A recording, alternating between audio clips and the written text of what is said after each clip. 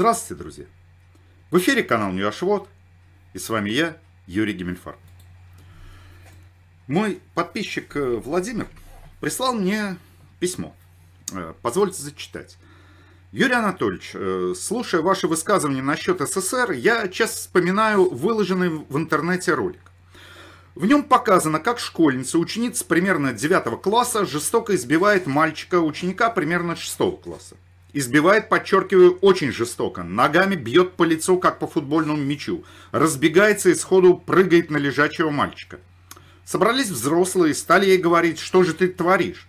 Она им отвечает, он мою маму Б обозвал. И взрослые начинали медленно расходиться. А девочка продолжала бить мальчика, приговаривая, пускай моя мама Б, но это моя мама. Так вот, пускай СССР вполне допускаю это, был не совсем хорош. Но это наша родина, мы в СССР родились и должны любить этого нашего родителя. Ведь родину и родителей человек не выбирает. Так что позвольте мне с вами не согласиться. Не согласны, опровергните и постарайтесь сделать это убедительно. Ну а если промолчите, как всегда, я не обижусь, понимаю, что вам неприятно отвечать на такие вопросы, а у меня, а меня за это простите. Это мои мысли, Спасибо за внимание, ваш подписчик. Ну, во-первых, э, я сразу же могу сказать, что я отвечаю на все вопросы, независимо от того, приятно мне на это отвечать или неприятно. Э, а во-вторых, э, тут дело не в понятиях приятно-неприятно, а в том, что я очень удивился, получив такое письмо, поскольку наивно полагал, что подобные вопросы я неоднократно уже изложил. Но надо так надо. Э, придется повторить и сделать это как можно более э, доступно.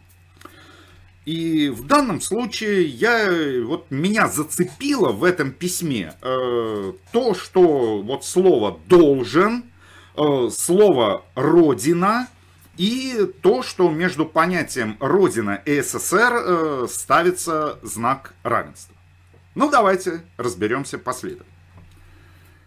Вначале, друзья, вот э, даже не вдаваясь в подробности того, что такое Родина и так далее, я предлагаю, давайте не будем, как писал Салтыков-Щедрин, путать Отечество и ваше превосходительство. Родина не эквивалентна государственному строю, и уж тем более это не синоним конкретного правительства в рамках государственного строя. Это вот, во-первых, давайте будем на этом основываться. Но все-таки разберемся с понятием Родина. Возьмем вашего покорного слугу. Я родился в Саратове. Далее э, мой родной язык русский. Я живу в Саратове. Скажите мне, пожалуйста, что изменилось вот лично для меня? Что э, Саратов телепортировался куда-то в Африку? Нет. Что здесь перестали говорить на русском языке? Тоже нет. За исключением э, некоторого количества неологизмов, э, э, русский язык э, со времен моего рождения практически не изменился. Э, поэтому мы приходим к очень простому выводу, что по сути дела не изменилось ничего. И да, раньше это была Саратовская губерния во времена Российской империи, потом это стало во времена СССР Саратовской областью, сейчас, кстати говоря, это тоже осталось Саратовской областью. Нет изменений. И в данной ситуации поменялся только государственный строй. Мне могут возразить, но территория-то государства была другой? Да, была. Но я опять же приведу в пример себя. Я, например, из 15 республик во времена СССР бывал только в Украине, Белоруссии, Латвии и Казахстане. Ну, в РСФСР еще. Вот, я посетил 5 республик из 15. В таких республиках, как Молдавия, Армения, Узбекистан, Киргизстан, я там просто не был. И в этом отношении говорить, что для меня вот лично, э, если мы употребляем понятие «родина», что-то поменялось, это совершенно неправомерно. Кстати, раз уж мы заговорили с этих позиций, и мой уважаемый подписчик приводит пример там девочки, которая вступилась за свою мать, и на основании этого многие употребляют такой вот термин «родина-мать», ну, это, с моей точки зрения, совершенно неправомерно. Ну, по двум причинам. Во-первых, мать и равно как и отец – это конкретные личности. Государство личностью являться не может априори. Ну, не бывает такого.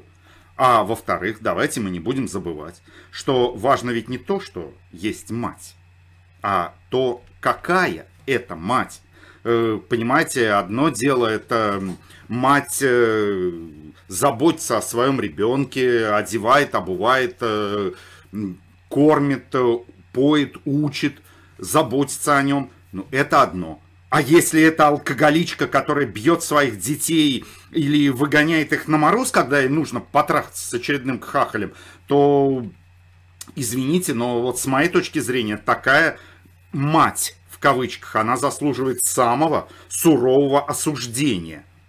Причем тут, на мой взгляд, это без вариантов. Но важно здесь другое. Важно, э, вот я еще раз напомню, я, подчерк, я подчеркну, что мне резануло э, слух э, слова «должен». Так вот, друзья мои, человек изначально, априори, никогда и никому ничего не должен. Долг может возникать только при наличии двух условий. Это осознанность и добровольность. Только так и никак иначе. Долг нельзя навязать форс-мажорными обстоятельствами, нельзя навязать силой, обманом и так далее и тому подобное. И здесь э, бессмысленно говорить о том, что ах, вот я родился э, в СССР, хотя, еще раз подчеркиваю, СССР и это государственный строй – и я его критиковал, и буду критиковать, потому что это наиболее омерзительный государственный строй и наиболее людоедская идеология, которая вообще когда-либо существовала в природе. Но к родине это не имеет никакого отношения. Но вот тут возникает э, один, на первый взгляд, забавный парадокс. Э, государство а мы выяснили, что государство и родина это вообще-то разные вещи. Оно э, пытается заставить э, граждан себя полюбить. Как это делается? Стратегии вообще три. Никто ничего другого не придумал. Либо это предоставлять такие услуги государства людям и, соответственно, возможности гражданам, чтобы они по сравнению с другими это ценили – и вполне осязаемо любили именно такой образ жизни. Либо использовать репрессивный аппарат подавления, либо, третий вариант, обман и зомбирование, использование пропаганды. Так вот, ответьте, друзья, сами себе на вопрос, какую из этих трех стратегий избрал Советский Союз? Ответ очевиден. Сейчас, э, по сути дела, ситуация повторяется. И ничего нового в данном случае чекисты не изобрели. Так вот, наверное, теперь, надеюсь, по крайней мере, становится понятно, что критикую я не родину и ругаю я не родину, а отвратительный государственный строй, в котором не было ничего хорошего. Но в заключении, вот как раз, я хотел бы подчеркнуть еще одну вещь. Меня э, многие мои критики часто называют предателем и так далее и тому подобное. Так вот, э, здесь как раз уместно ответить и на этот вопрос. Так вот, э, запомните, господа, что не у гражданина есть долг перед государством – а наоборот, у государства перед гражданином, чьим трудом и на чьи налоги оно существует. И вот э, уважение и любви достойно то государство, которое не лезет на частную территорию своими грязными лапами. И когда гражданин может выйти на крыльцо и сказать очень простую вещь этому государству. Пошло вон с моей частной собственности. Так вот, э, что касается предательства, я просто хочу пояснить, что предательство – это не критика правительства или государственного строя. Совсем нет. И даже не переход, условно говоря, на сторону противника – Потому что тут надо смотреть, при каких обстоятельствах это было. Вы же не будете называть беглого раба э, предателем. Нет. Точно так же не, не является предателем рекрут, то есть солдат, призванный насильно и который э, дезертировал. Он не предатель. Э, предательство – это сознательное нарушение добровольно принятых на себя обязательств сознательное нарушение обязательств, которые были признаны осознанно и добровольно. Вот я умышленно дважды повторил эту фразу. Но вот поэтому, я думаю, становится понятно, кто является реальными предателями. Так вот, реальные предатели – это люди, которые осознанно и добровольно приняли на себя обязательства – которые клянутся и продолжают клясться в лояльности народу. И, кстати говоря, этих людей, ну, не при всей богатой фантазии, не заподозришь в том, что они занимают э, свои высокие посты вопреки собственной воле.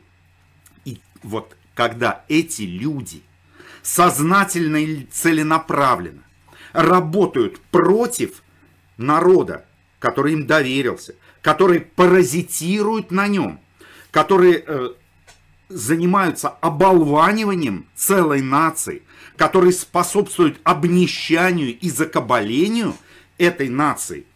Вот это и есть реальные предатели и мерзавцы.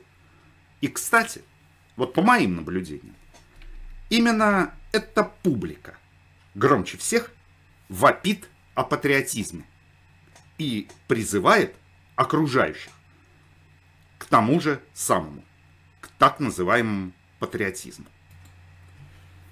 Всего доброго. Подписывайтесь на канал Ньюашвод. Не забывайте ставить лайки и распространять это видео.